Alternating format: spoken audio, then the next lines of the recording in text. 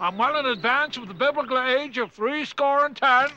I'm in perfect health, and I'm convinced I will live forever because my bowels are